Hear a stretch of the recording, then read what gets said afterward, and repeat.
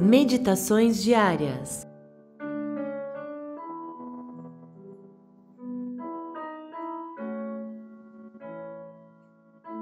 Querida família de fé, hoje lhe trazemos uma palavra de reflexão baseada do Antigo Testamento em Eclesiastes capítulo 12, versículo 14. Deus há de trazer a juízo todas as obras até as que estão escondidas, quer sejam boas, quer sejam más. E do Novo Testamento, da carta aos Romanos, capítulo 14, versículos 12 e 13. Cada um de nós prestará contas de si mesmo diante de Deus. Portanto, deixemos de julgar uns aos outros.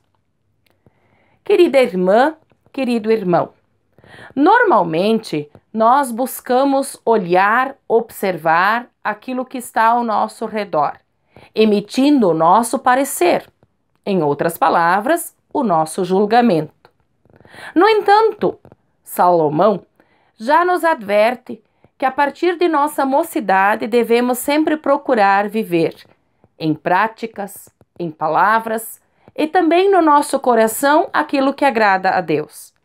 Porque, mesmo que tentemos, jamais conseguimos esconder de Deus a nossa essência, aquilo que é bom ou aquilo que é mal. Portanto, o apóstolo Paulo também nos lembra que devemos sempre pensar que Deus é que vai julgar o nossa, a nossa caminhada, a nossa vida. Mesmo que nós vamos olhar uns para os outros, às vezes até escandalizando as outras pessoas, Deus é que vai separar o que é bom, o que é ruim. Portanto, querida irmã, querido irmão, faça a sua parte. A partir do batismo, vivencie o que há de melhor, aquilo que agrada a Deus. Você e eu somos desafiados para sempre, a partir da palavra e da orientação que vem de Deus, trilhar os bons caminhos, não julgando uns aos outros, mas fazendo aquilo que agrada a Deus.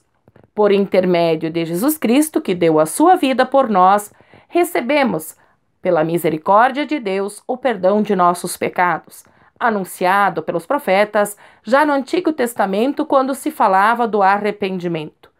Portanto, o julgamento, lembremos-nos, pertence a Deus. Que Deus te carregue na palma de sua mão para que sempre possas trilhar o caminho certo, sob a sua guarda e sob a sua proteção, para que te sintas envolvido e amparado, cuidado pela misericórdia e pelo amor de Deus, o Pai, o Filho e o Espírito Santo. Amém.